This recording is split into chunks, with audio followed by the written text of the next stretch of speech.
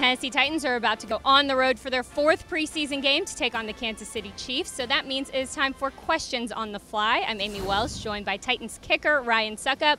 Ryan, I have questions submitted from Twitter. Are you ready to answer them? All right, I'm ready. Let's do it. All right. Your first question is from Erica, and she wants to know what are you hoping to accomplish in your last preseason game?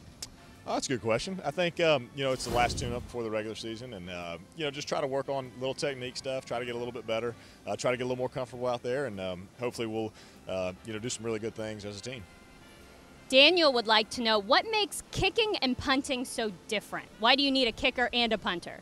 Uh, well, it's a little bit of a different leg swing. Um, you know, obviously, uh, kicking a, or punting a football is a little bit more straight on, and a, uh, as a field goal kicker is more of like a, a soccer style kick, so it's a little different. Um, but a lot of guys can do both. I did both in college, and um, I'm glad I'm only doing one now. I, I think it'd be a little tough to try to do both at this level. Michael would like to know: Is it easier for you to kick in Kansas City because you used to play there and are familiar with the stadium?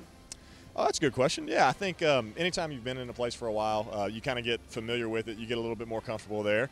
Um, obviously, I played there for a long time, and um, ironically enough, every year that I've been in Tennessee, we've gone back to Kansas City.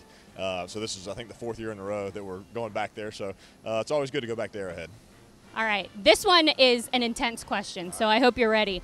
Roy would like to know is there better barbecue in Tennessee or in Kansas City? Oh, that's a great question. See, I love barbecue. I grew up in North Carolina, so there's some pretty good barbecue where I'm from too.